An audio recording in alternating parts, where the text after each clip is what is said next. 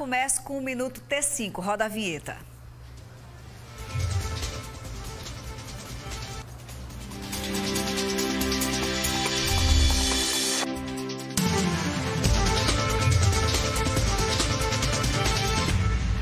Notícia bacana lá no destaque do Portal T5, viu? O Instituto Federal da Paraíba está com as inscrições abertas para cursos da instituição. São mais de 3.600 vagas, são vários cursos, cursos técnicos integrados ao ensino médio e também para cursos subsequentes, ou seja, se você se interessou, corre que as inscrições podem ser feitas até amanhã, tá? E lá no Portal do Estudante, você tem todas as informações ou também no site da instituição. O endereço é www www.ifpb.edu.br. E até amanhã podem ser feitas as inscrições para o concurso de formação de oficiais bombeiros militar 2021. Quem também está interessado pode preencher o formulário até as 9 da manhã no site do Corpo de Bombeiros da Polícia Militar da Paraíba. E de acordo com o edital, a idade máxima para participar da seleção é de 32 anos. Então, se você ainda não tem 32 anos, dá para você se inscrever, candidatos civis e militares das Forças Armadas e também de outras corporações corporações.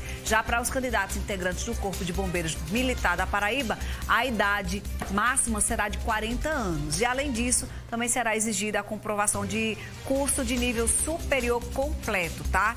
Esse edital que abre 12 vagas destinadas à ampla concorrência traz ainda a remuneração inicial que é de R$ 3.124,23, mas chega até R$ 7.791,20, tá?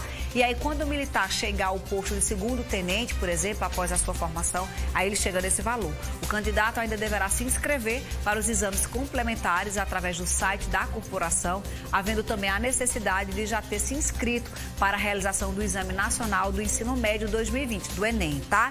E coloca aí na agenda que o cair da noite do dia 21 de dezembro vai proporcionar um dos mais bonitos eventos astronômicos. É que os planetas Júpiter e Saturno eles estarão alinhados, de modo que vão parecer um planeta duplo.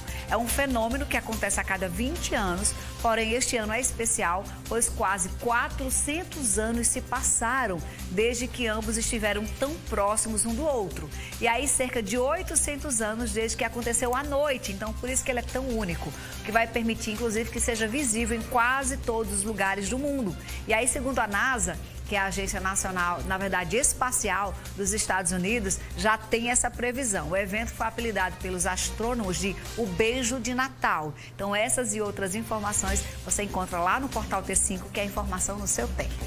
Olha, seguro é celebrar apenas com quem você